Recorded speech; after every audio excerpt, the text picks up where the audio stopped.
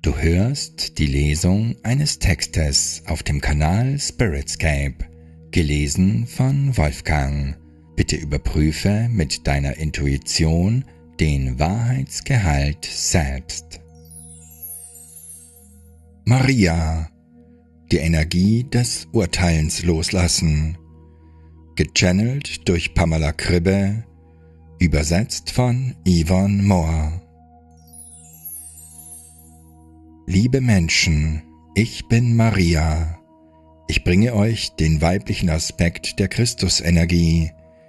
Es berührt mich, eure Anwesenheit zu spüren. Eurer aller Energie ist für mich fühlbar. Auch ich bin Mensch auf der Erde gewesen und habe alle Tiefen und Höhen, die damit einhergehen, selbst erfahren.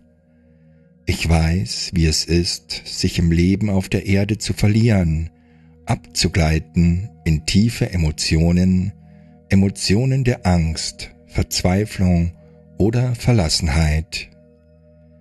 Ich kenne das Menschsein von innen heraus, und dennoch möchte ich euch sagen, dass das Abenteuer, in das ihr euch auf der Erde begeben habt, wundervoll, schön und grandios ist wenn ihr lernt, dem Wellengang des Lebens zu vertrauen, dem natürlichen Rhythmus, in dem ihr getragen werdet vom Universum. Ich möchte euch von meiner Reise und eurer Reise erzählen, denn sie ist eine gemeinsame. Ich war die leibliche Mutter eines Menschen, Jesus Jeschua, der ein neues Licht, ein neues Bewusstsein auf die Erde brachte. Das war zu einer Zeit, die für dieses Bewusstsein eigentlich noch nicht reif war. Es war zu einer Zeit, als die Energien festsaßen, weil sehr viele Menschen durch die vorherrschenden, beengenden und einschränkenden Auffassungen wie verirrt und erstickt waren. Es herrschte ein kollektives Bewusstsein, das auf Angst und Überlebensdrang basierte und sich auf Eigennutz, Macht und Ohnmacht stützte. In dieses Spielfeld hinein kam Jesus. Er kam, eine Saat zu sehen, einen Lichtfunken zu bringen, der die Herzen der Menschen würde berühren können, die Herzen von Menschen, die dafür offen waren, die sich nach einer anderen Art von Leben sehnten, einem, das nicht aus Angst und Überlebensnot heraus gelebt wurde, sondern aus dem Herzen, aus innerer Verbindung und Fülle, aus Liebe und dem Teilen miteinander. Yeshua hätte nicht auf die Erde kommen können, ohne eine Gruppe von Menschen, die seine Energie, sein Bewusstsein verstanden, die begriffen, was er bringen kam. Ich muss lächeln, wenn ich euch hier ansehe, denn viele von euch waren daran beteiligt, den Christusimpuls auf der Erde zu empfangen. Viele von euch haben in vorherigen Leben in der Zeit Jeschuas oder kurz davor oder unmittelbar danach gelebt es war nicht nur ein Mann, der auf die Erde kam und dort etwas veränderte, es war eine Energiewelle, die hereinrollte und von einer Gruppe von Menschen getragen wurde, die wir auch Lichtträger oder Lichtarbeiter nennen. Menschen, die aus ihrem Herzen heraus nach neuen Möglichkeiten strebten, nach einem neuen Bewusstsein auf der Erde. Diese Menschen bildeten die Tragfläche, die Basis für eine Revolution im Bewusstsein, die mit Christus, mit Jeschua begann. Doch Jeschuas Kommen war nur der Anfang, ein zarter Keim, der gepflanzt wurde. Dieser führte bei den Menschen, die es zu dieser Zeit nicht gewohnt waren, offen für das Neue zu sein, oder bei Menschen, die Macht hatten und sie nicht aufgeben wollten, sofort zu Widerstand. Denn die Botschaft Jeschuas könnte die Macht der bestehenden Regierung, der bestehenden Ordnung brechen, nicht weil er mit ihnen kämpfen und eine neue Macht errichten wollte, sondern weil er den Menschen sagte, das Königreich Gottes ist in euch. Der Weg, die Wahrheit liegt in euch selbst. Jeder Mensch hat Zugang zu der Quelle des Lichts, die die ganze Welt trägt und erschafft. Ihr seid selbst ein Teil Gottes. Das sagte Jeschua den Menschen, und diejenigen, die von dieser Botschaft berührt wurden, fühlten, wie sich ihre Herzen öffneten und erinnerten sich plötzlich ihrer Essenz, des göttlichen Lichts, dass sie zutiefst sind, dass wir alle zutiefst sind. Viele von euch, die dies lesen, wurden innerlich von Christus berührt, von dem, was er vermitteln kam, von dem Wunsch nach einem größeren Bewusstsein, das umfassend verbindend ist, und danach die Einheit in allem zu erkennen, was lebt. Mensch, Tier, Pflanze, Natur. Aber es gab auch die Machthaber, diejenigen, die sich diesem neuen Impuls widersetzten, und ironischerweise waren selbst unter den Anhängern Jeschuas Menschen, die seine Energie in die Strukturen, Gesetze und Gebote übersetzten und umsetzten, die später in der Organisation der christlichen Kirche festgelegt wurden und die den ursprünglichen freiheitsliebenden Impuls der Christusenergie entstellten. Schlussendlich entstand in der christlichen Tradition eine Energie, die für das menschliche Bewusstsein sehr einschränkend war. Ich spreche hier insbesondere vom Erbe des Denkens in Termen von Sünde, Schuld und Urteil. Ihr alle tragt dieses Erbe mit euch. Jeder von euch hatte und hat noch immer auf irgendeine Weise damit zu tun. Der ursprüngliche Christusimpuls wurde durch diese Reaktionen des Widerstands, der Missverständnisse und der Verzerrungen lange Zeit unterdrückt und musste sich darum im Verborgenen halten. In dieser heutigen Zeit wird der Keim der Christusenergie immer kraftvoller und reifer. Er erblüht mehr und mehr in den Herzen vieler Menschen auf der Erde, dies geschieht individuell, von ihrem eigenen Wesen, von ihrer eigenen Basis aus fühlen sich immer mehr Menschen auf der Erde zu einer anderen Art von Leben gerufen, einem Leben aus der Verbindung, aus der Freude und Hoffnung heraus.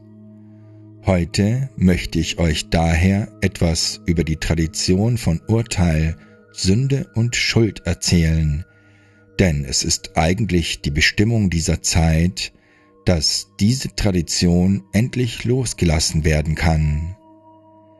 Wir befinden uns nun in der Vorweihnachtszeit. Zu Weihnachten wird die Geburt Christi gefeiert. Umfassender könnte man sagen, die Geburt des Christusbewusstseins. Denn tatsächlich fand diese Geburt nicht einfach nur einmal statt, als Jeschua als physische Erscheinung auf der Erde erschien. Diese Geburt erstreckte sich über viele Jahrhunderte, über Jahrtausende, und diese Geburt des Christusbewusstseins findet auch jetzt statt, durch euch. Ihr seid es, die dieser Geburt hier und jetzt Form, Gestalt geben. Denkt zur Weihnachtszeit einmal daran, das Fest des Wunderbaren, des Neuen, der Unschuld, die wiedergeboren werden. Fühlt, dass ihr direkt daran teilnehmt, durch das, wer und was ihr jetzt seid. Lasst uns auf die Tradition zurückblicken, in der der Christusenergie von Seiten der Kirche eine bestimmte Form gegeben wurde. Aus der so entstandenen Energie heraus wurde euch tatsächlich gelehrt, nicht euch selbst, nicht auf eure eigenen natürlichen Impulse zu vertrauen. Als die Kirche sich die Energie Jeschuas und seine Botschaft aneignete, kam eine gebieterische, zwingende männliche Energie ins Spiel. Was tun Machthaber, um die Menschen zu unterdrücken? Sie können dazu körperliche Gewalt einsetzen, aber sie können auch geistige Gewalt anwenden, und dies ist oft viel effektiver. Man kann den Menschen sagen, dass sie nicht auf ihre spontanen Gefühle, ihre Gefühle und die Wünsche vertrauen sollen, die ganz natürlich aus ihrem Herzen, ihrem Körper und ihrer Seele hervorsprudeln. Man kann ihnen weismachen, sie dürften nicht auf sie hören, sondern müssten sie unterdrücken, weil es eine höhere Wahrheit gebe, die nicht direkt von ihnen selbst, sondern nur von einigen wenigen Menschen erkannt werden könne, die Zugang zur Quelle, zum Licht, zu Gott hätten. Dies war im Wesentlichen die Vorgehensweise, mit der die kirchliche Macht die Menschen unterdrückt hat. Es ist eine Lehre entstanden, in der der Mensch als grundsätzlich sündig und schlecht betrachtet wurde. Diese Sichtweise hat bei den Menschen viel angerichtet. Was geschieht mit euch, wenn ihr nicht mehr darauf vertrauen könnt, was euer Gefühl, euer Herz euch eingibt? Wenn ihr auch die Wünsche und Freuden des irdischen Daseins eures Körpers nicht genießen dürft, des Essens, Trinkens, des Verschmelzens mit einem anderen Menschen, wenn all dies nieder und sündig ist, dann fühlt ihr euch irgendwann im Leben auf der Erde nicht mehr zu Hause. Und auch jetzt setzt sich diese Tradition des Urteils, der Sünde und der Schuld noch immer fort. Natürlich lehren sich die Kirchen in vielen Ländern, es kommt auch vieles über den Machtmissbrauch an die Oberfläche, der in der Kirche stattgefunden hat. Aber die Energie des Urteilens ist noch immer da. Schaut nur einmal bei euch selbst. Wie oft ist da nicht eine innere Stimme in euch, die sagt, du machst das nicht gut. Eine Stimme, die kritisch und wertend, verurteilend, schneidend ist. Urteilen schneidet, es bestimmt. Dies ist gut und jenes ist schlecht. Fühlt einmal die Energie des Urteils. Sie ist kalt, sie ist nicht menschlich, einfühlsam oder warm. Es ist die Energie einer Autorität, die außerhalb von euch ist und über euch entscheidet. Ihr alle habt diese Stimme verinnerlicht und sie mag in dieser Lebenszeit durch eure Erziehung zu euch kommen, durch die Geh- und Verbote, die in eurer Kultur und Gesellschaft herrschen, die Moral, die ihr in euch in der Schule oder in eurer Arbeit oder eben durch religiöse Vorstellungen zu eigen gemacht habt, denen ihr begegnet. Auch moderne Spiritualität kann sehr gebieterisch sein, wenn es darum geht, was ihr fühlen oder nicht fühlen dürft, was ihr tun oder nicht tun dürft.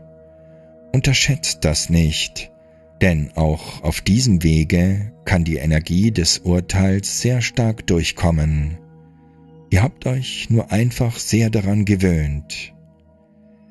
Die Vorstellung, dass ihr vollkommen gut seid, dass alles, was an Emotionen, Impulsen und Wünschen in euch lebt, in Ordnung ist, ist sehr erneuernd auffrischend. Und das ist es, was Jeschua euch mitzuteilen kam. Das ist es, was wir mit dem Begriff die Sprache eurer Seele ausdrücken wollen. Betrachtet einmal den Alltag, euer Körper, eure Gefühle, euer Herz vermitteln euch fortwährend, wo ihr steht, was ihr fühlt, was ihr wollt. Eure Seele kommuniziert mit euch durch eure irdischen Emotionen und Wünsche. Das Königreich Gottes liegt in euch. Aber irgendwo ist da auch diese Stimme, diese verurteilende, schneidende Stimme, die euch sagt, dass ihr es nicht richtig macht oder dass ihr euch nicht richtig anfühlt. Oft ist sie auch von eurem Verstand eingefärbt, der die Dinge rational begründen oder beweisen will.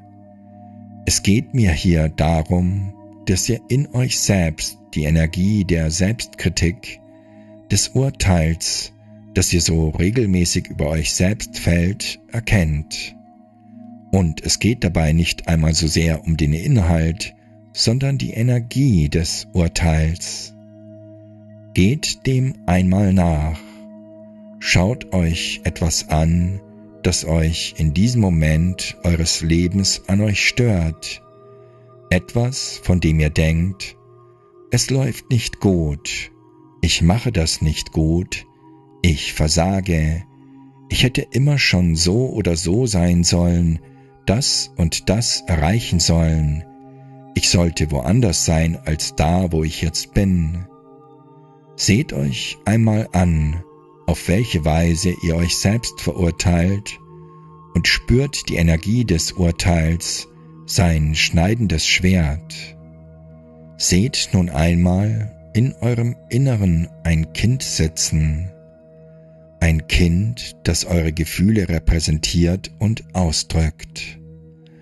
Ein Kind, das vielleicht traurig ist, weil ihr das Gefühl habt, dass ihr versagt, dass ihr etwas nicht richtig macht, dass ihr in bestimmten Dingen weiter oder besser sein müsstet, als ihr seid.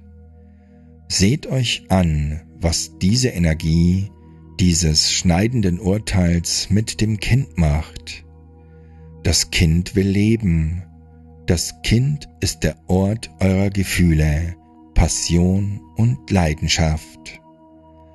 Was geschieht, wenn diese Seite von euch durch all das urteilen und müssen, dies und das gehört sich so und so, das und jenes muss man tun oder muss sein, unter Druck gesetzt wird, ist, dass das Kind auf Dauer rebellisch wird. Es wird ungehalten, doch es kann auch depressiv werden. Es kann die Aggression, die es empfindet, gegen sich selbst zu richten beginnen. Es kann sich dadurch sehr minderwertig fühlen. Es können in ihm dann verzerrte Verhaltensweisen entstehen, von denen dieser Mensch denkt, das ist nicht richtig, das ist destruktiv. Wie kann ich solch ein verzerrtes Verhalten als eine gute Seite in mir, als Ausdruck meiner Seele sehen? Aber diese Verzerrung und die Destruktivität entstehen, weil eure ursprünglichen, natürlichen Impulse, hier als das spontane Kind vergegenwärtigt, durch Urteile unter Druck gesetzt wurden, die euch aus eurer Umgebung oder aus eurem eigenen Geist heraus begegnet sind. Befreit nun dieses innere Kind in euch das Kind ist unschuldig. So oft und so tiefgreifend wurde euch gelehrt, dass ihr schuldig seid, schuldig des Fehlverhaltens. Welches Fehlverhalten? Ihr lebt, ihr lebt als Mensch auf der Erde. Ihr begebt euch tief hinein, erreicht manchmal Höhen der Freude und Ekstase, aber manchmal seid ihr auch tief bestürzt, finster, traurig oder wütend, gar rasend. Und all dies ist Teil des Lebens. Worin liegen da Schuld oder Sünde? Indem ihr in Schuld oder Sünde denkt, unterdrückt ihr eure natürliche Lebensenergie und das erst führt wirklich zu Missständen oder Missverhalten. Lasst das Kind in euch frei. Lasst es leben.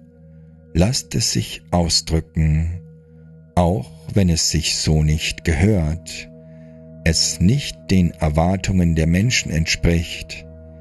Dieses Kind ist das schönste Geschenk, das ihr von Gott bekommen habt. Es ist die Quelle des Lebens. Empfangt es in euch.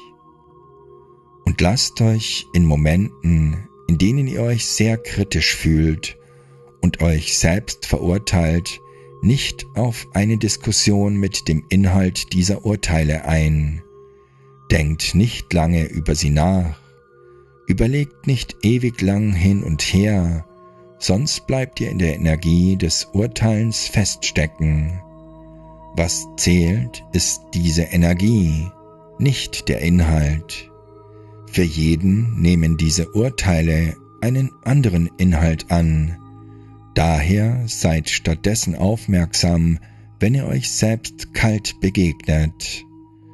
Was auch immer der Inhalt des Urteils sein mag, es kann euch niemals die Wahrheit geben. Die Wahrheit manifestiert sich nicht mit Hilfe von Kälte. Einige von euch haben gelernt, dass es gut und gewissenhaft, verantwortungsvoll sei, sich sich selbst vorzuknöpfen, streng mit sich selbst zu sein und sich zur Ordnung zu rufen. Aber diese Art von Umgang mit euch selbst führt euch weiter fort von der Wahrheit und davon, die natürliche Lebensfreude wiederzugewinnen. Nun, wenn ihr fühlt, dass ihr gut seid, euch ganz und gar in eurer ganzen Menschlichkeit gut fühlt, erst dann zeigt ihr die schönsten, kraftvollsten und liebevollsten Seiten eurer selbst.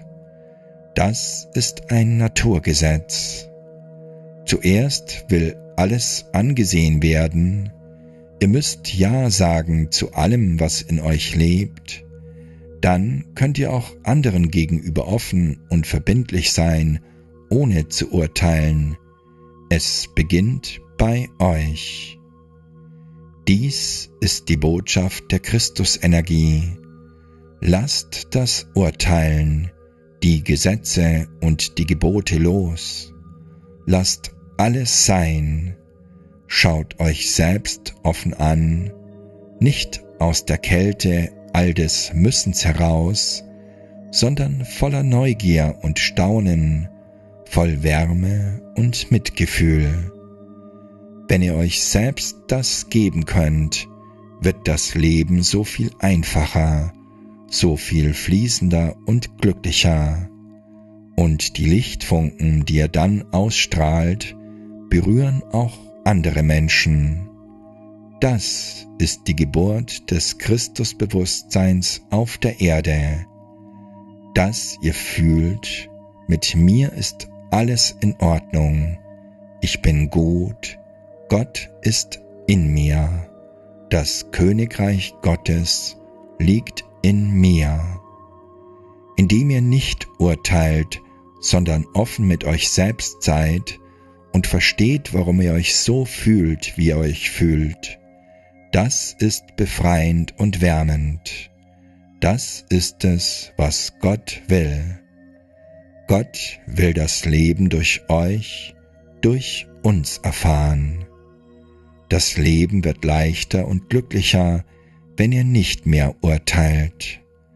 Das Leben auf der Erde kann schön, wunderbar und vertiefend sein. Vertraut wieder auf die Sprache, die euch euer irdischer Körper und euer irdisches Menschsein geben. Vertraut wieder auf euer Gefühl, euer Herz. Seid nicht zu rational, zu vernünftig. Ich liebe euch alle. Ich bin ein Mensch gewesen und fühle daher eine tiefe Verbindung mit euch allen hier. Das Liebste, was ich euch wünsche, ist Freude, Freude in eurem Leben. Nicht, weil alles gerade gut geht und wunderbar läuft, sondern weil ihr seid, wer ihr seid, in all eurer Schönheit und Einfachheit. Ihr seid das Leben selbst. Lasst das Leben fließen, wie es möchte, und feiert es. Das Leben ist da, um gefeiert zu werden.